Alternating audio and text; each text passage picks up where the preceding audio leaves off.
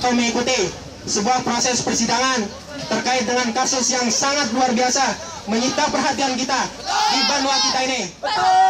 Kehadiran kita di sini adalah dalam rangka untuk menunjukkan keberadaan kita bahwa kita masyarakat Hujung Utara sangat menginginkan keadilan bagi Banua ini.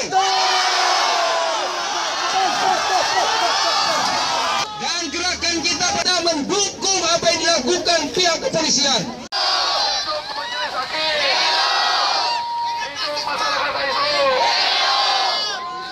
Selanjutnya marilah kita mengawal kawan-kawan kita di kejaksaan untuk bisa nanti menetapkan para tersangka menjadi para saksi menjadi tersangka.